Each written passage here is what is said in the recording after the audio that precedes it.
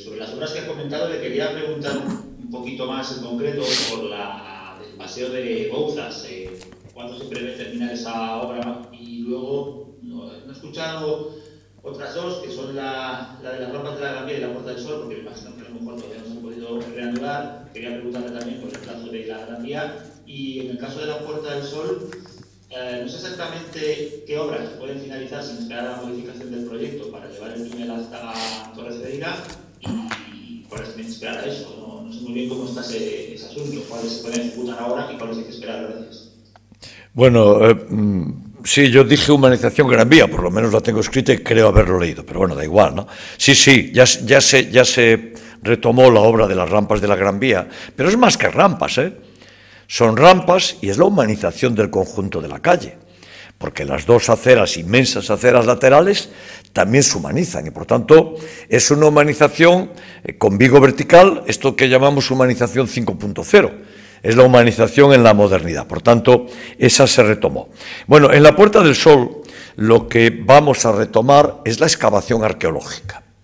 La excavación arqueológica se detuvo para facilitar la, la acción de la Navidad y que se pudiera transitar por allí, pues por ejemplo los Reyes Magos de Oriente, sus majestades que pasaron por esa zona, la cubrimos y ahora la vamos a descubrir y seguir con la excavación arqueológica para situar bien todos los restos de la muralla, una parte ya se conocen, otra todavía no, me refiero a uno llegamos ahí en la excavación y después tendremos que hacer los análisis y las opciones de la forma de continuar el túnel. El túnel se va a continuar hasta Torre Cedeira pero tenemos que hacer la, la propuesta y el tratamiento de la muralla, el estado en el que esté, qué es lo que proponemos que se haga con la muralla, lo tiene que ver Patrimonio de la Junta, tenemos que ir juntos en esto, como es natural, y a partir de ahí resolver, como propondremos, para que el túnel llegue eh, a Torrecedeira.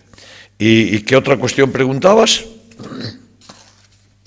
Sí, le pedía, Carlos, sobre la Gran Vía, sobre el paseo y sobre la Puerta del Sol yo me refería un poquito más a las rampas de la calle Carral, que no sé si dependen también de esto que comenta.